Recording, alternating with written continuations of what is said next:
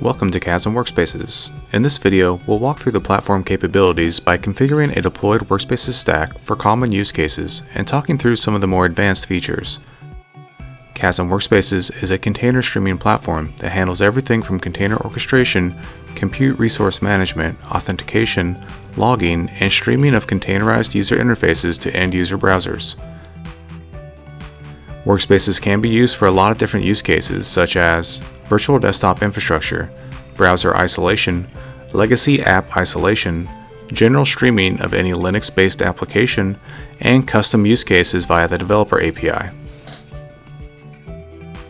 This video assumes you have workspaces running and ready to configure. See our documentation or other videos on the installation of workspaces. Notice the browser is complaining about the security of the site. This is because the default installation generates a self-signed SSL cert. See our documentation or video on using Let's Encrypt to have a valid certificate signed by a public certificate authority so that users don't get this warning. The installation automatically creates one admin and one normal user account. Let's delete the default user, change the password on the admin account, and create a few normal user accounts.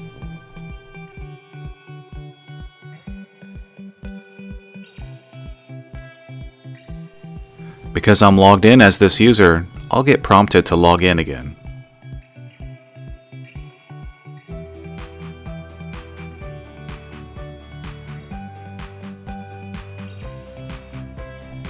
We now have three test user accounts. Now let's take a look at groups. All users are automatically assigned to the All Users group.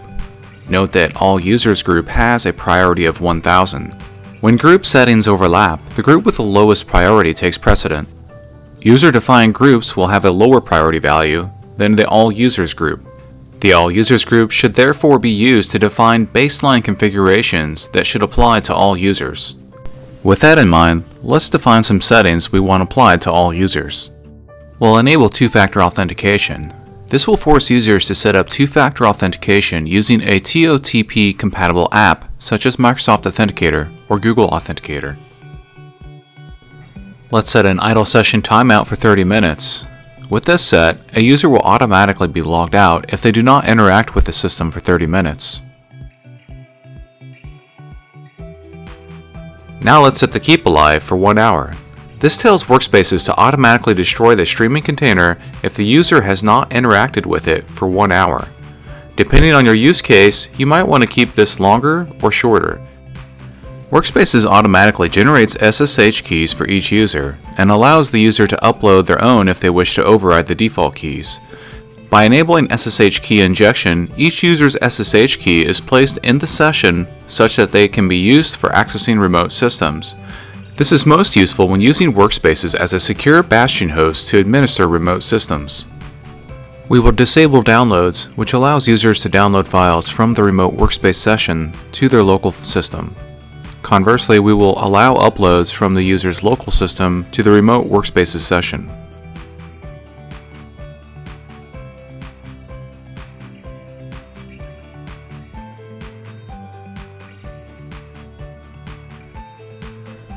Finally, let's remove all images from the All Users group except the Chrome image, which we want available for all users for secure internet access.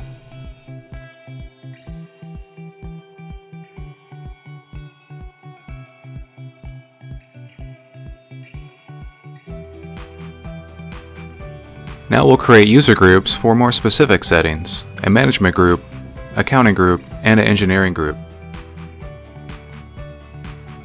Moving on to the Images panel, you can see Workspaces includes a number of great images that are maintained by Kasm. We don't need all of these, so let's remove all except the Ubuntu desktop and Chrome browser images. We will clone the Ubuntu desktop a few times to provide each department a new desktop. For this demonstration, they will use the same Docker image, however, you may want to build custom images. See our other videos and documentation on creating and managing custom images.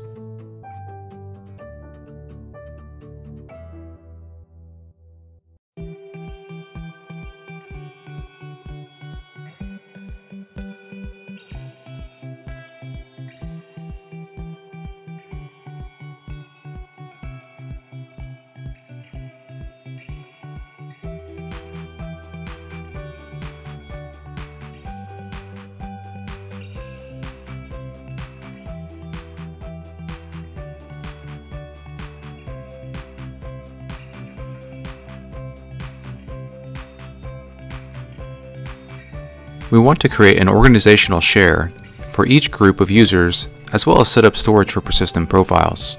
I've SSH to the server that Workspaces is installed on, for this demonstration, I'm just creating local folders on the file system. However, you should be using a centralized file system such as AWS EFS, NFS, SMB, Hadoop file system, or any centralized file system that can be mounted to the desired Workspaces agents. I'm going to create a folder for engineering, accounting, management, and a directory for user profiles. Workspaces uses user ID 1000 on the host for users inside containers, so the folder created must be owned by UID 1000. Workspaces controls which shares users have access to based on group membership.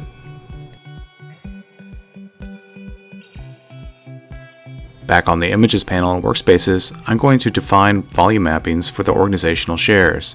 The first field is the location on the host, followed by the target location inside the Workspaces container. The mode defines read-only or read-write. UID and GIDs should be set to 1000. Finally, the required field tells Workspaces to fail a session creation if the share is inaccessible. Workspaces checks that each volume being mapped is accessible before attempting to create the container. If the target location is not accessible and the volume mapping is marked as not required, the container will be created without the volume mapping. Next we will define persistent profile settings on the image. Each image should have a unique location in the persistent profile path. Note the username tag, which will be replaced by the username for each respective user. Let's have a look at some of the other image settings. CPU cores, RAM, GPU settings allow you to set the resource constraints.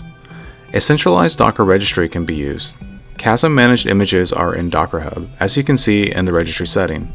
Workspaces constantly checks for updates in the registry and downloads new versions of the image when available. Images can be assigned specific Docker networks. If none is specified, the default Workspaces network is used. If specified, an instance of the image will only be created on an agent with the name Docker network. Images can be confined to a specific agent or zone. Let's rename the Chrome image used for browser isolation to Secure Internet Access. The next panel we will configure is the web filter policy. When users access the internet from inside Kasm workspaces, it will apply this policy, which can consist of a whitelist, blacklist, or URL categorization. URL categorization is not available on the Community Edition. However, white and blacklisting are. For this demonstration, we will enable categorization and block auction sites. Web filter policies can be applied to a group or directly to images. Now that the web filter and images are defined, we can go back to the groups and finish out their definitions. First, we'll go to the All Users group and apply the web filter policy.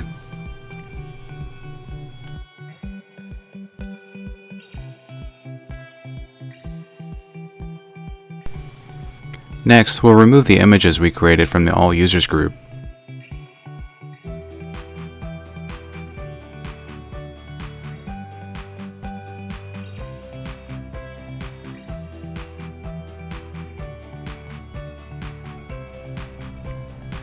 Now we want to give the management, engineering, and accounting groups access to their respective images.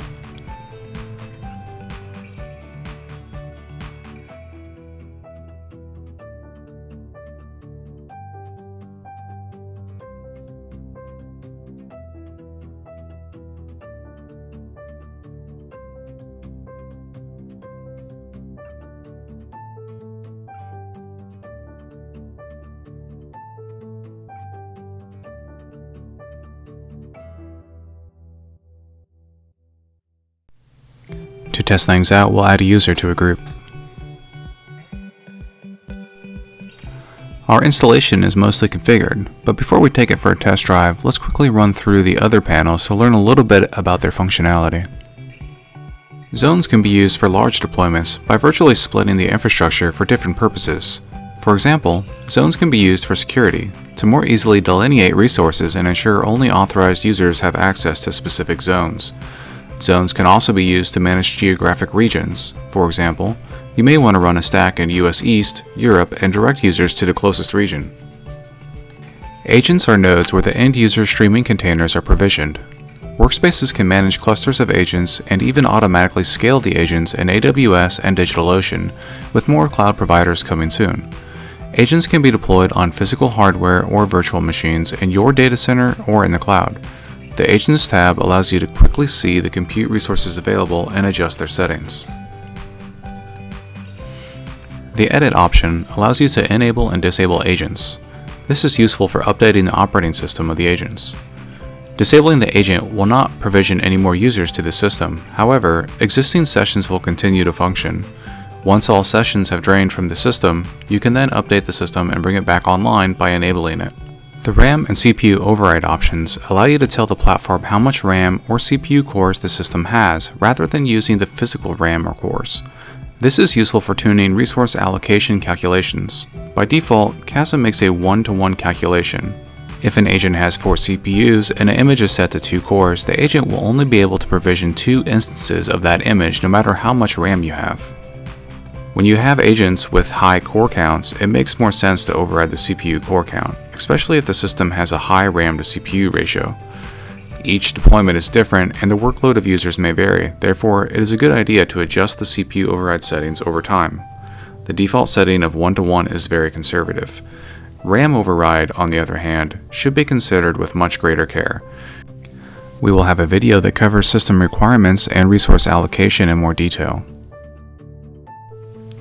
Session casting is a new feature that allows you to provide users with a simple URL that will put them directly into a Workspace's streaming session, with or without authentication.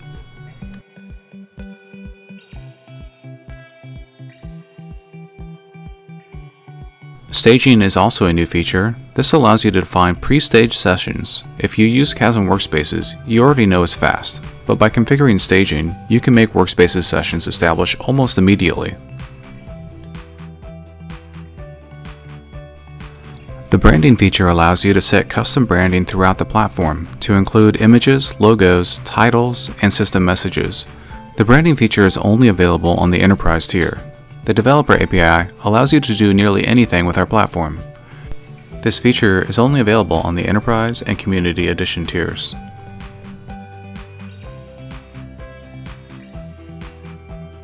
Workspaces supports authentication via LDAP and can map Kasm groups to Active Directory groups. Workspaces also supports SAML authentication and can be configured with multiple identity providers. Kasm has built-in logging, whether deployed to a single server or 100 servers. All systems in the stack send logs to their respective manager. Kasm can then send those logs to a central logging solution such as Splunk. For smaller deployments, you can rely on the built-in logging mechanism, which utilizes the Postgres database. By default, Workspaces is configured with a log retention policy of 4 hours for debug logs and 7 days for all other logs. Now that we've gone over most of the features, let's log in as Jack, the accountant, and see what the user would experience. Since Jack has not set up two-factor authentication, I will need to set that up. Simply take a picture of the barcode with the Google Authenticator app, and it will start displaying a random token every 60 seconds. Now that I have the token set up, I can log in. Jack only has access to the accounting desktop and the remote browser, Let's create an instance of the desktop and test out some of the features that we configured.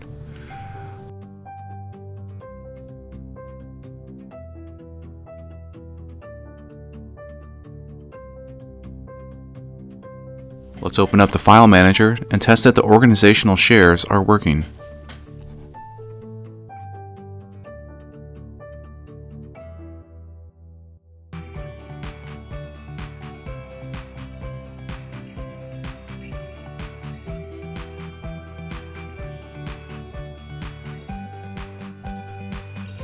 Now we'll go to eBay and see if our web filter is blocking auction sites. Let's create a favorite link to test out persistent profiles.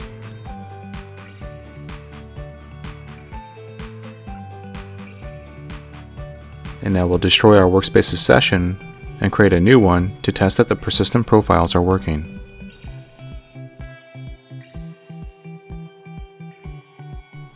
And there's our favorite on the toolbar. If we look at the control panel, we'll see that the Downloads button is missing. This is because we disabled downloads for all users.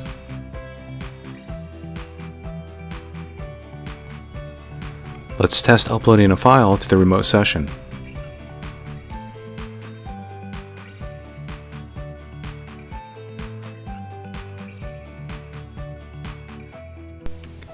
Thank you for watching this training video. Be sure to visit www.kasmweb.com resources.html or our YouTube channel for updated videos on other topics.